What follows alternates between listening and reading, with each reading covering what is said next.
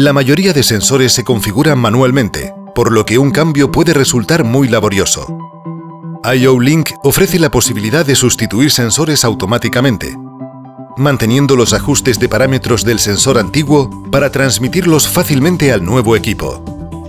Esto permite realizar un cambio de sensores rápido y sin fallos.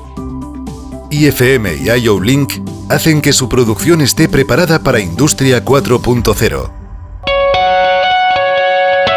IFM, close to you.